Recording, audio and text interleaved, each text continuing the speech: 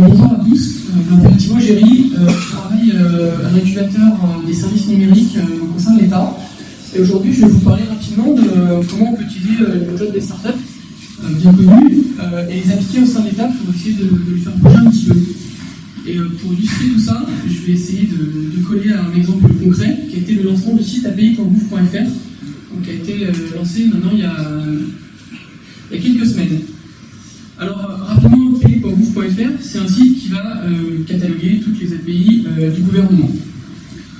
Donc, je vais rapidement faire euh, une petite présentation du site pour qu'on comprenne de quoi on parle.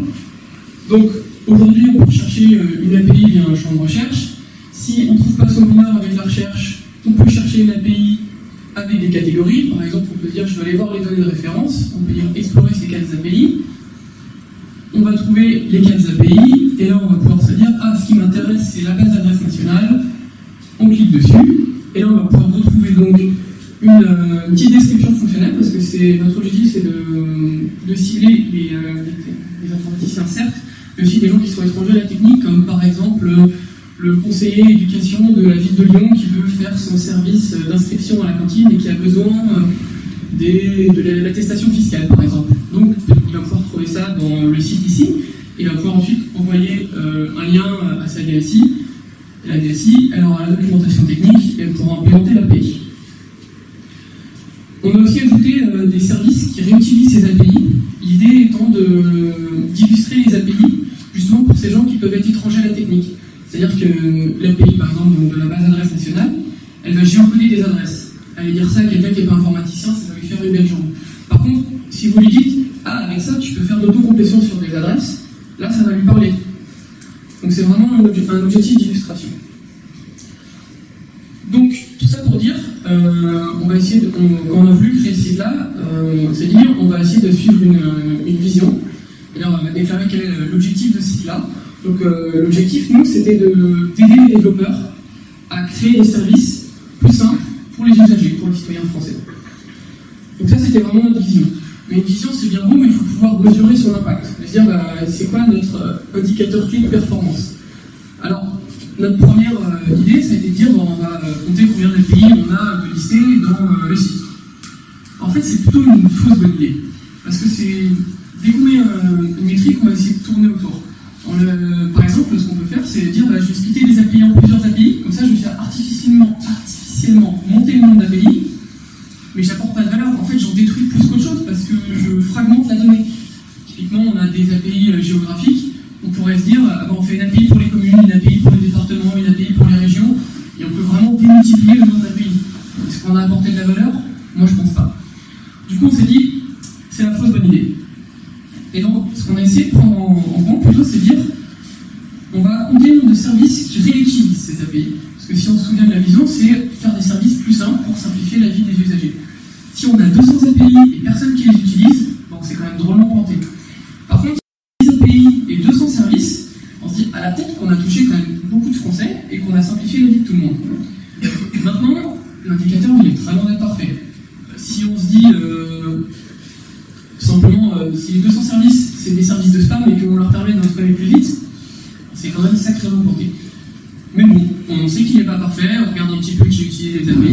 De chaque API, elles sont ouvertes ou non. Mais toujours est-il qu'on euh, a cet indicateur. donc maintenant, on a défini la vision, on a défini le KPI. Il s'agit de, commencer le site, de le construire.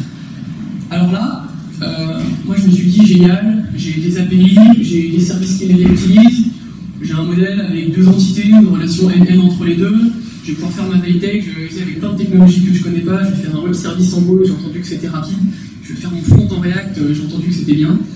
Donc je me suis dit ça au début, puis après j'ai fait, euh, ouais, non Thibaut quand même, euh, on va essayer de la, faire kiss, donc keep it simple stupid, où l'idée c'est juste de dire, l'innovation, elle n'est pas technique, l'innovation c'est au niveau du produit, c'est on va essayer quelque chose, on va essayer de le montrer.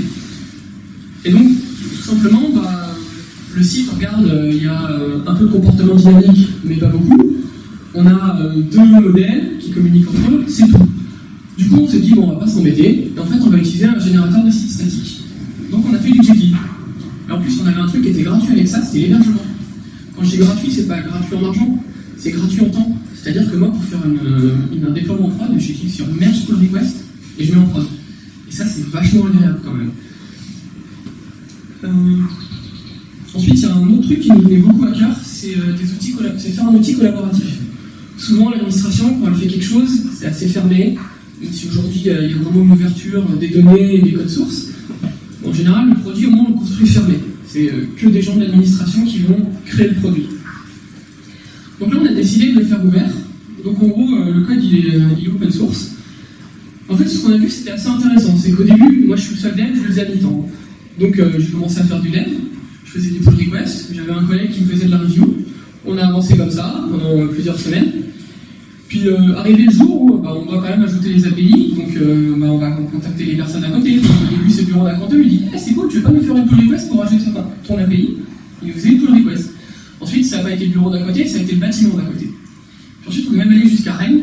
On n'est pas allé jusqu'à Rennes, on leur a téléphoné mais ils nous ont fait des pull requests depuis Rennes. Donc au début, voilà, on a pu élargir le cercle des pull requests. Mais c'est resté au sein de l'administration. Au moment du lancement du site, bah, il y a un truc assez marrant qui s'est passé, c'est qu'il y a des gens qui sont venus nous ouvrir des issues sur GitHub en disant eh, ça serait quand même vachement bien qu'on soit notifié euh, quand il y une nouvelle API qui arrive. Ou euh, si j'ai besoin d'une API, euh, comment je fais pour la demander? Des choses comme ça qui sont arrivées sur des issues GitHub. Donc on a tranquillement augmenter le, cercle des contributions. Après, il n'y a pas un citoyen lambda qui a fait une pull request. Maintenant, on n'est pas contre, hein, si la pull request est tout à fait pertinente, il n'y a pas de souci. Donc ça, c'est vraiment quelque chose euh, qui nous tient à cœur, c'est la collaboration. Alors, nous, on a que 40 stars, hein, on est désolé, mais c'est noté pour, pour augmenter le nombre de stars. Voilà. Et alors, le dernier point que je voudrais aborder, c'est l'utilisateur. C'est-à-dire que souvent, quand on va faire un produit, bah, on a des mots, on a un PO, on a quelqu'un qui va nous dire faudrait faire ça comme ça. Et puis, euh, bah, vu que c'est plus ou moins notre chef, ou du moins il a la légitimité de décider le point de vue fonctionnel, bah, on va le suivre. On n'a pas vraiment le choix. Nous, on n'a pas eu trop de problème sur API Move. Par contre, on avait quand même un biais, c'est qu'on était une communauté, euh, communauté d'experts, c'est-à-dire que soit on produisait des API, soit on, euh, consommait des API. Donc voilà, on connaissait bien le sujet, et du coup, on a fait le site à notre image. Donc bah, c'est génial, on développe le site, et puis, euh, au bout d'un moment, on se dit, bon, on va faire un test utilisateur quand même, enfin, quelques tests utilisateurs. Alors, euh, ce que c'est rapidement, c'est juste on donne un scénario au début et ensuite on laisse les utilisateurs interagir euh, avec le site. Et surtout, l'objectif est d'observer et de ne pas nuire à, l'expérience utilisateur. Donc, bah, c'est pas compliqué. Moi, je suis allé voir Andel, je lui ai montré le truc. Il est resté 17 secondes, sur le site. Il est dans, dans le champ de recherche, il a tapé, il a fait Hunter, il a fait documentation technique, il était prêt à faire le cœur. Je lui ai dit, ok, c'est bon, ça arrête là. Et j'ai eu ce que je voulais. Puis ensuite, je me suis quand même rappelé que ce site, on voulait qu'il soit ouvert à des gens qui soient étrangers à la technique. Donc, euh, comme je n'avais pas forcément le conseiller d'éducation de la ville de Lyon sous la main, je me suis dit, c'est pas grave, je vais aller voir quelqu'un qui ne connaît pas l'informatique, du moins qui est un utilisateur lambda. Du coup, je suis allé voir une comptable. Je lui ai demandé, est-ce que tu as 20 minutes de, mon temps, de ton temps à m'accorder? Elle a gentiment accepté. Donc pareil, je lui ai donné un scénario, je lui ai dit, bah voilà, euh, je te demanderai de, regarder un petit peu et de dis-moi ce que tu comprends du site à la fin. Et là, je peux vous jurer que ça a été les 20 minutes les plus longues de ma vie. C'est-à-dire que dans un test utilisateur, on n'a pas le droit de parler. Donc on laisse la personne euh, se balader sur le site. Elle était dans une détresse totale. Moi, j'avais qu'une envie, c'était de l'aider et je, me retenais de dire quoi que ce soit. Et là, en fait, je me suis rendu compte, un truc tout bête, hein, mais voilà, la communauté d'experts, elle n'a pas besoin de savoir ce que c'est qu'une API. Mais il y en a qui ont besoin en fait. Et en fait, quand on rentre dans, dans ce mindset-là, on perd complètement la vision. Et ça peut poser des problèmes. Donc, j'avais pas beaucoup de temps, j'étais à mi-temps sur ce truc-là, on l'a fait en 4 mois. Mais malgré ça, temps de faire des tests utilisateurs, je vous jure que vous allez en apprendre vachement sur euh, ce que vous pouvez créer. En plus, euh, c'est bête, hein, c'est juste un site statique. Hein. Il n'y a même pas de comportement dynamique ni quoi que ce soit, à part la recherche. Donc voilà, euh, je vous remercie de m'avoir écouté. Si ce genre de choses vous intéresse, sachez qu'on est plusieurs à faire ça donc à l'incubateur du service numérique au sein de l'État. Vous pouvez retrouver ce qu'on fait sur betagouv.fr.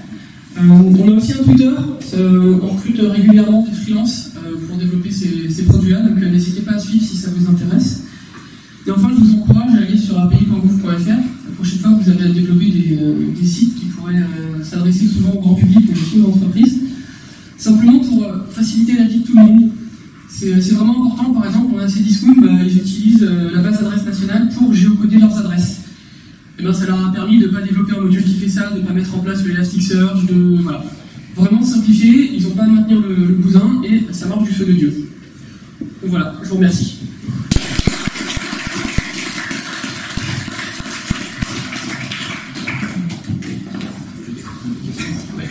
Donc si vous avez des questions? Ah, Il y a des questions. oui, Voir en tout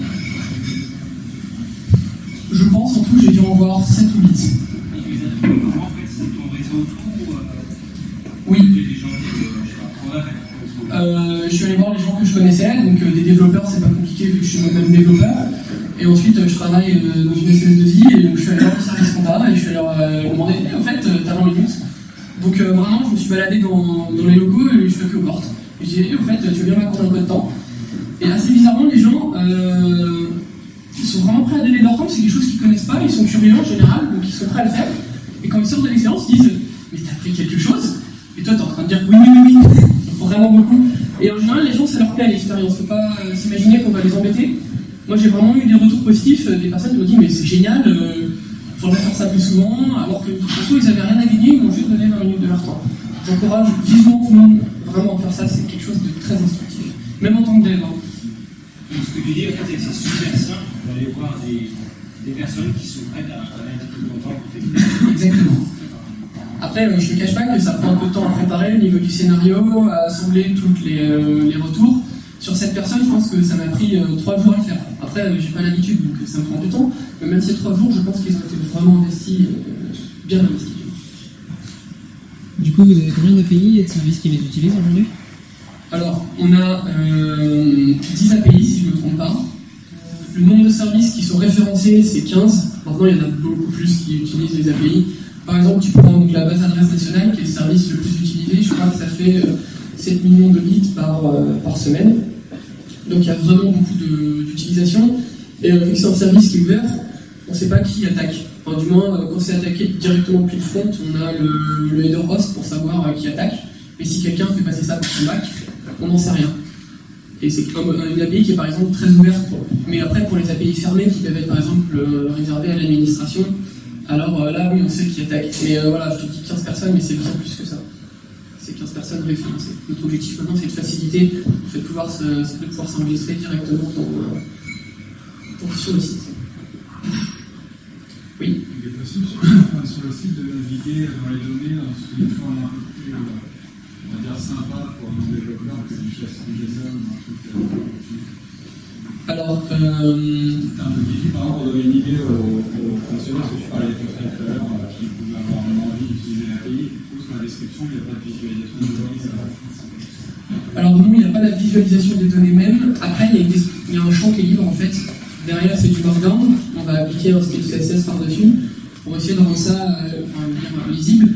Après, libre à chaque API de mettre ce qu'elle veut. On essaie de formaliser un minimum, mais on ne peut pas dire euh, vous utilisez tous ce format-là, c'est impossible. Donc on formalise au maximum, mais voilà, euh, il y a eu un champ libre et les gens mettent ce qu'ils veulent. Ils peuvent mettre euh, les données, les, les modèles de données, les données qu'on peut récupérer, on peut récupérer. C'est libre à l'API. Mais oui, il y a bien une interface qui est faite pour les fonctionnaires. Pas d'autres questions? Merci. Ok, bah, merci.